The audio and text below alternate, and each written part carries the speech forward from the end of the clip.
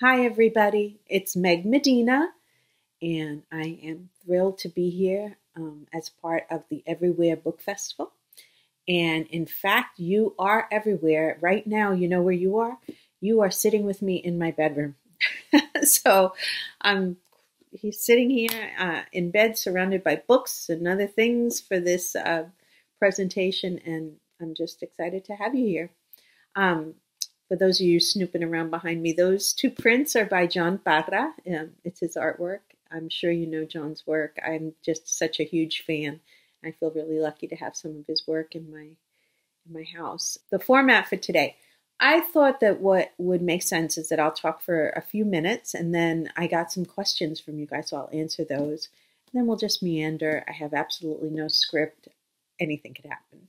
So, um, I write books, as you know, for kids of all ages, and uh, you. Some of you know me as a picture book author, mostly, or some of you know me through my YA work, like Yaqui Delgado or Burn Baby Burn, and um, but most people know me, I think, for Merci Suarez Changes Gears, which is out in paperback.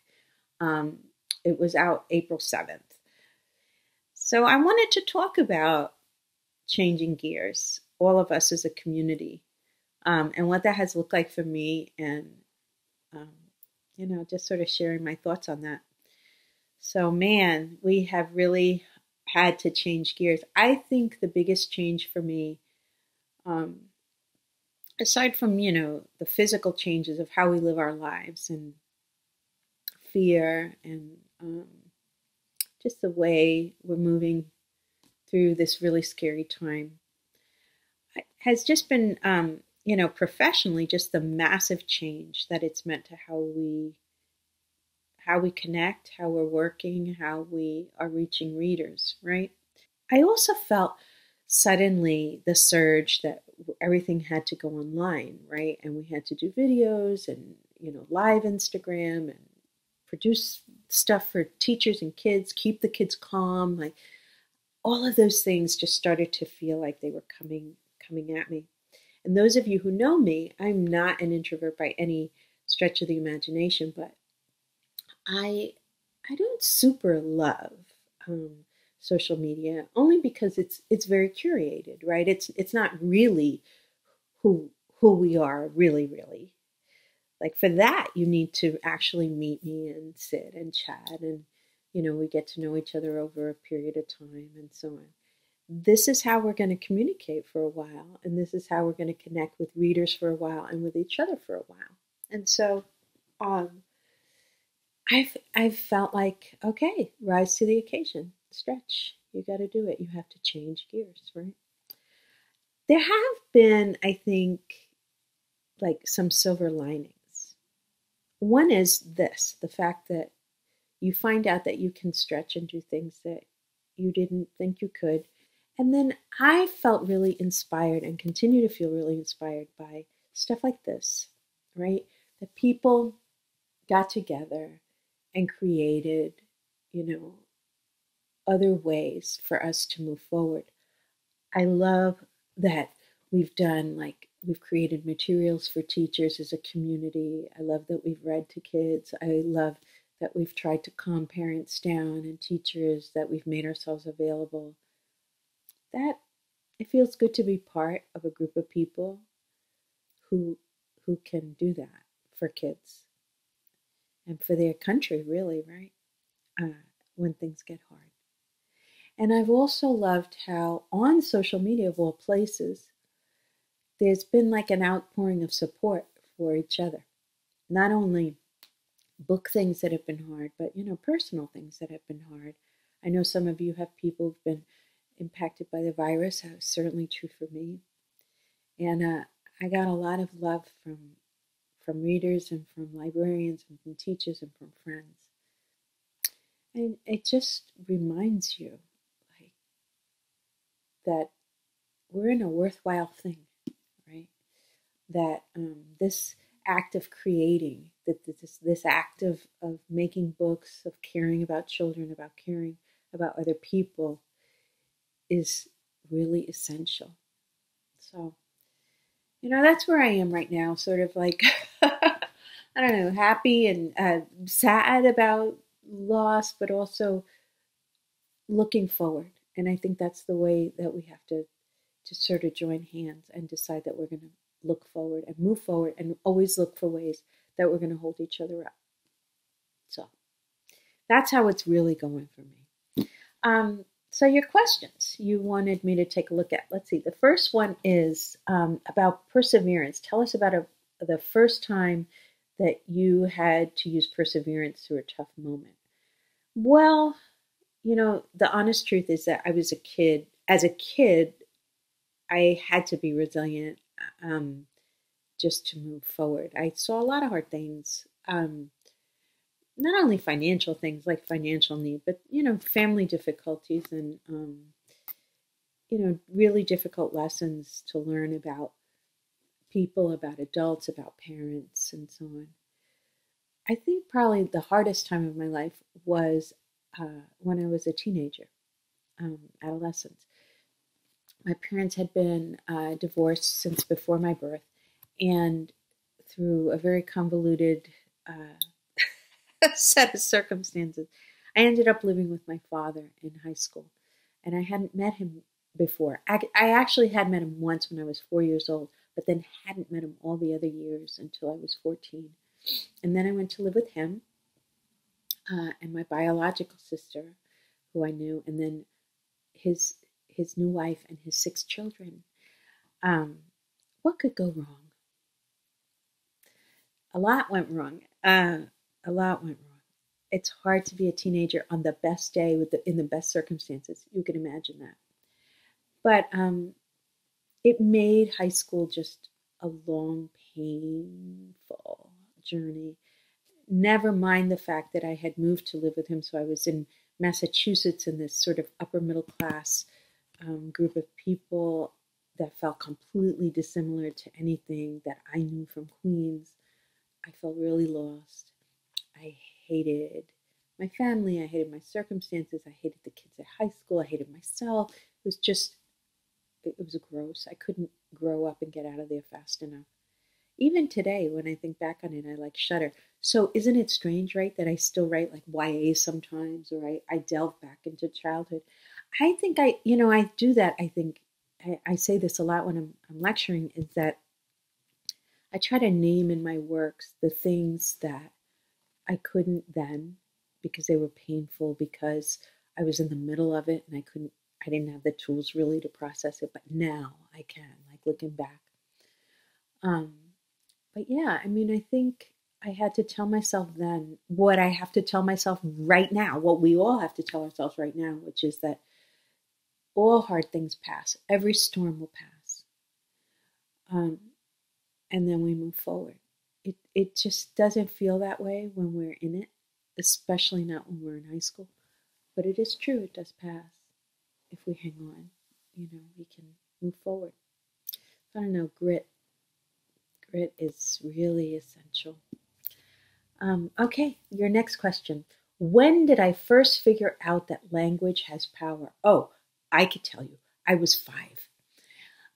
My mother took us to see to Madison Square Garden to see Ringling Brothers and Barnum and Bailey Circus. I was really little. I could, maybe I was not even five. I don't know, but I was little. And we went with a lady who had other children, and my mother really liked this lady. My mother thought this lady was una señora muy fina, a very refined lady. And so we were expected, of course, to be on our best behavior, and that was always a stretch for my sister and me. And I remember the giraffe legs being really tall, just seeing legs, and the smell of popcorn and the clowns, like all of it. And you know, the scale of Madison Square Garden, anybody who's in New York knows that. It's just enormous, right? And my mother did something or said something to me that I didn't like. And I turned around and I said a word to her that I had heard somebody say. It was a bad word. It was a dirty word um, that I won't repeat here, but it was really ugly word in Spanish. And I remember the look of horror that passed over the woman's face, my mother's friend. She just looked at me like, What came out of that girl's mouth? and the, the kids froze. Who knows if they knew what that word meant? I didn't, right? And my mother just looking like she was melting before my very eyes. One word, right? And since then, I think I just, uh, my whole life has just been a lesson in words having power.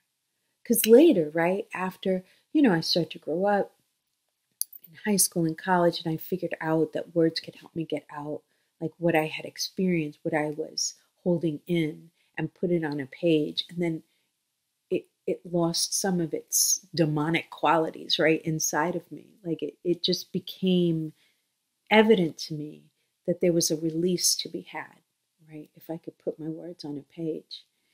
And even now, you know, like when I'm writing, whether it's that people are like annoyed and freaked out over the word ass, right, on a on a cover, or whether I've written something that like a librarian or a teacher or a kid will say, you know, my grandmother died of Alzheimer's or my husband is is in the early stages of Alzheimer's and like that's all they need to say and I know that what I wrote connected with them that I I made our world a little kinder and a little smaller for us both. So yeah, I think I always knew I kind of started with a potty mouth. I still sort of have a potty mouth. Um, but you know, Okay, what else? Um, oh, what have I been binge watching? Oh my gosh. Okay, first of all, Javier and I, my husband, now our only words are, should we watch another chapter and that another episode? And it, the answer is always yes. So what am I binge watching? I hadn't watched um, The Good Place, so I'm like on season two and I'm loving it. I'm watching it all the time. What a creative romp! I love it. Um, that Chidi. Mm. I loved. Um, I'm I've watched the first two episodes and still have to finish up um, Octavia Spencer. What is it called? Um, in her, oh, I wrote it down somewhere so that I wouldn't forget.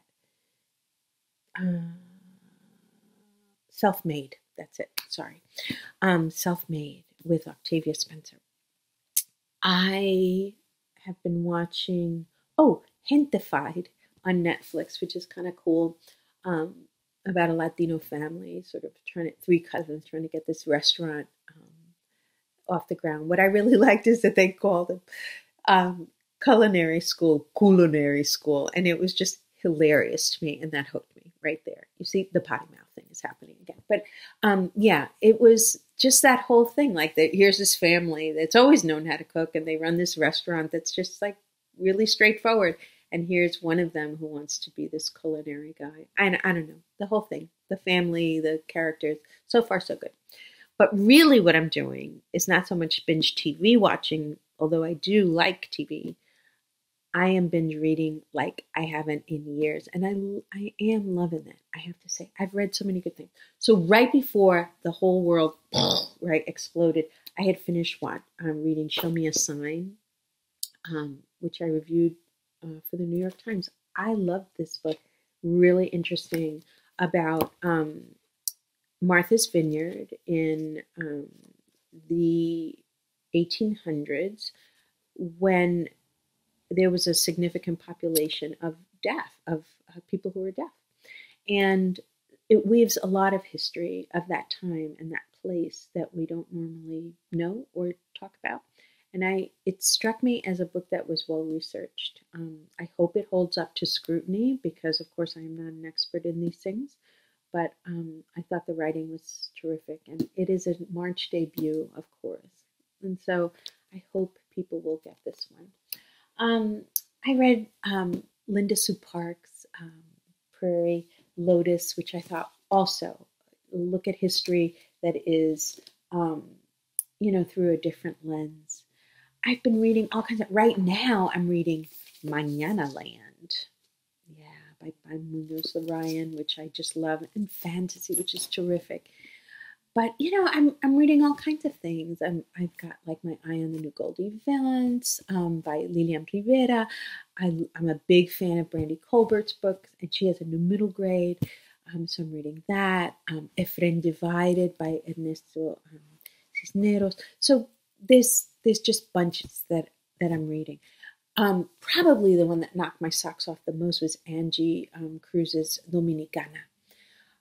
Oh my god, it was it was really fabulous. I think it was I, it won a bunch of things at at ALA, and I'm so sorry that she's not going to get to revel revel in that um, this year because it was really terrific. Um, so I really recommend that one. Sort of adult YA. You know, it's right there on the cusp. I had I had thoughts about that, but that's for another webcast. Um, so yeah, that's what I'm reading these days. Just reading like crazy. Um, and then you asked me things in my house that bring me joy. Well, you know what? My garden. Isn't that weird? I grew up in Flushing, Queens. We don't have garden. We have the Queens Botanical Garden, and that's it, right? And cement. So I think in adult life, I had like no green thumb whatsoever. I don't know what I'm doing, but I bought a bunch of books and I I dig in the dirt and I've learned not to be squeamish about worms and I you know, I just love it.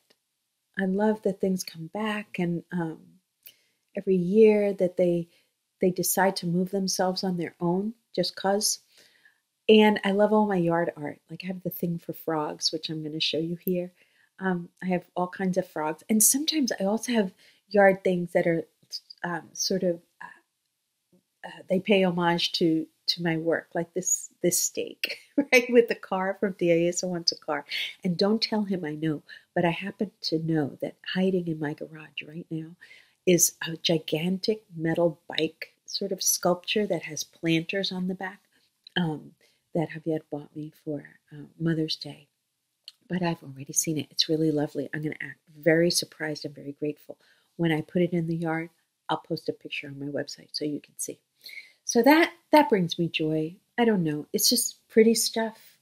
Um, it takes hard work to make it, you know, grow. It it there's stubbornness. You know, I love when like I I want to remove something and it won't go, like daylilies.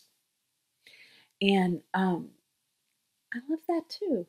You know, like the stubbornness of some plants to to succeed no matter what. We need to be like plants. And then finally, the final question what is coming up for me in 2020? Well, my first book really since winning the Newbery, and I am coming out with a picture book. And this is not the picture book, these are the full F and G's, right? But that I folded together so you could see it. It's Evelyn Del Rey is moving away. And um, I love that story. It's a story about two little girls having their last play date, two Latina girls. Um, and they're having their last play date before Evelyn moves away. So for years, I have always remembered my very first friend, not my best friend, but the very first girl that I remember being a friend with was a Cuban girl named, named Evelyn Guzman. She lived a couple of blocks from me. And so I always have had her, like the cakes her mother used to make us. And, you know, her, she had an aunt who was a really beautiful lady who was a hairdresser. Um, you know, her mother had plastic covers on the sofa like my mother did. Um, Dippity Doo, you know, we used to play with her Dippity Doo all the time. I don't know. I love that girl and I always had her in mind. And then I went to a workshop at uh, the Highlights Foundation, and Shadra Strickland was there, and she was. Uh, I just sat in on one of her workshops, and she was talking about how we find stories to tell in picture book. And so she had us do, I think, this sort of rapid exercise where we were um, looking at like common problems of childhood, you know, first days of school, um, you know, death of a parent, like all kinds of things that happen in childhood. And then I thought, well, why don't I superimpose like this problem of childhood? Your friends move away, or, or we lose friends for lots of different reasons. They go to another class, they move down the block, they like somebody better, right? Um, how can I superimpose this with what I remember of um, beautiful Evelyn Guzman? And so it became it's uh, Evelyn Del Rey is moving away. And it comes out in español también. It comes out Evelyn Del Rey se muda. And it's translated by Teresa Mlawer, who uh, recently passed. For those of you who know Teresa's work, she was an incredible translator and just contributed so much to the Latinx literary community. And I'm really honored that this was one of the last things that she worked on um, before she passed. So I don't know, it's going to feel special in my heart always for that reason, too. But I hope you'll pick it up. It comes out in September. Oops, the phone is ringing. I've got to go. Take care.